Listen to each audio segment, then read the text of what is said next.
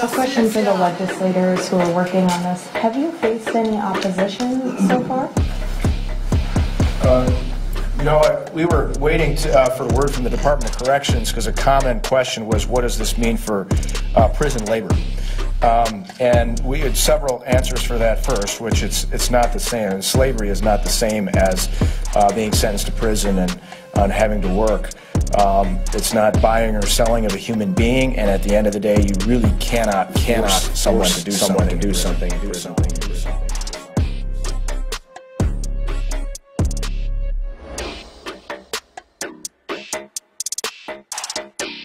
Now, a history of forced labor after the Civil War.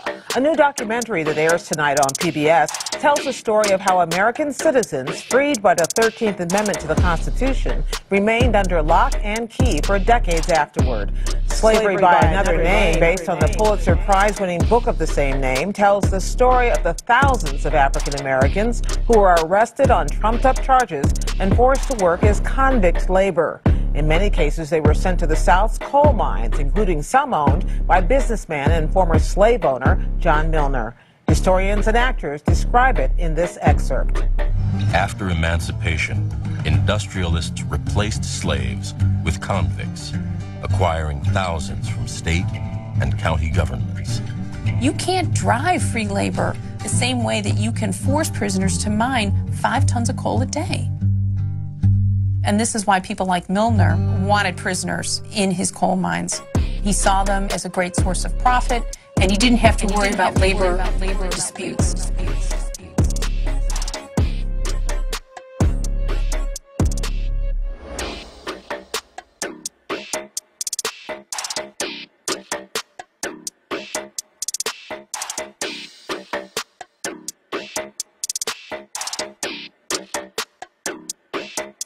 The detention center that I'm going to sell today really is state of the art. It's as good as it can possibly get.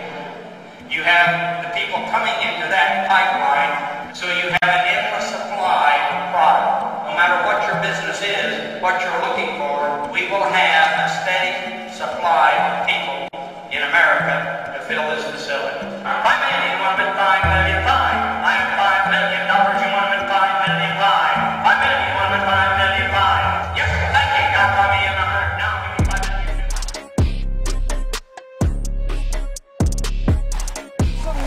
Major differences between the jobs people do in prison and the ones they do on the outside, particularly when it comes to money. The average wage in prison is around 63 cents per hour. And remember, that's the average. So that means there are states where prisoners make considerably less.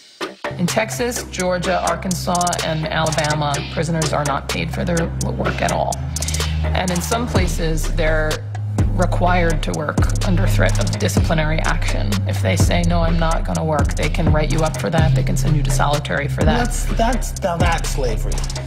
To, to work for free, yeah. and then they Under can and they can put you in solitary if you don't work or write you up for not working Yeah. for free. Why is that not slavery? Yeah, that's not good because why is that not slavery is one of those questions that even if you have to ask it, something has already gone very wrong. Like, how many swastika tattoos? Or which of mommy's nightstand drawers did you open? Things are already bad. We just need to figure out how bad. And the answer to why is this not slavery is well, it's not exactly not slavery. Because it turns out treating prisoners as slaves is literally written into the Constitution. The 13th Amendment states that slavery is abolished, except as a punishment for a crime. And the amendment abolishing slavery is really not the one that you want to suddenly include the word except. except.